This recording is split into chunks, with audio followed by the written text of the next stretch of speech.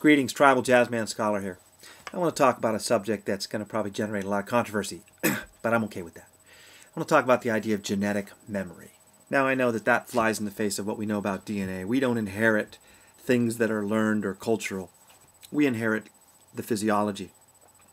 But uh, at least that's what the scientists say, and that's the general belief system. But I'm going to contradict that with my own ideas and my own thesis and my own feelings about the matter. Um, and it's based on a personal story, so I'll kind of go to the personal story and let that speak for itself. Um, my mother's Greek. She's an immigrant to the United States. She came here when she was 18 years old and took a boat across the sea, Ellis Island, that whole gig. She had lived in Greece under the Nazi occupation, and um, she had a, a, an uncle who was a famous inventor. Well, he, he wasn't famous, but he was wealthy. He invented the aerator, the little uh, screen material that goes into a, a kitchen faucet and makes the water soft. He invented that. It was his only invention that ever sold anything, and he made quite a bit of money, and he lived in Paris. And he knew that my mother, his niece, wanted to study, wanted to make something of her life, and he uh, paid her way to the United States. So my mother comes here as an immigrant. And my whole life growing up, I knew that I was half Greek, and I knew I wanted to learn Greek and speak Greek. My mother never spoke any Greek to me.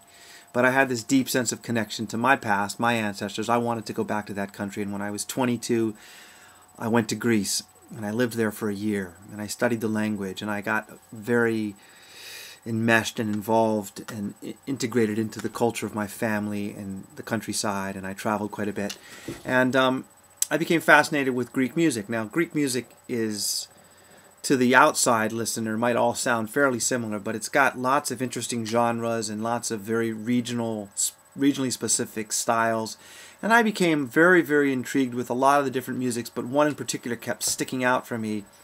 It was music from a little region in, in the central, north, north central Greece, in these mountains called the Agrafa. And I just liked the music from there.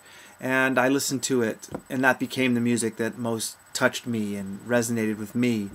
And um, and I came back to the United States and brought a lot of different musics with me to listen to um, from Greece but that there were some songs from there that always kind of hit me on a deep level, and uh, so it was maybe 15 years later that I decided to go kind of on a journey to trace my ancestor roots, and I, and I guess you can see where the story's going.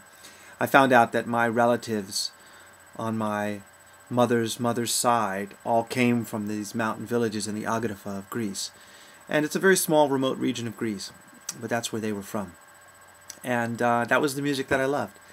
Um, so uh, it's one example to me that suggested the possibility that um, where our ancestors have spent a good deal of their time and expressed a lot of their emotions and sentiments in creative arts, that that can become embedded in us in a way that transcends the purely physiological transmission of DNA.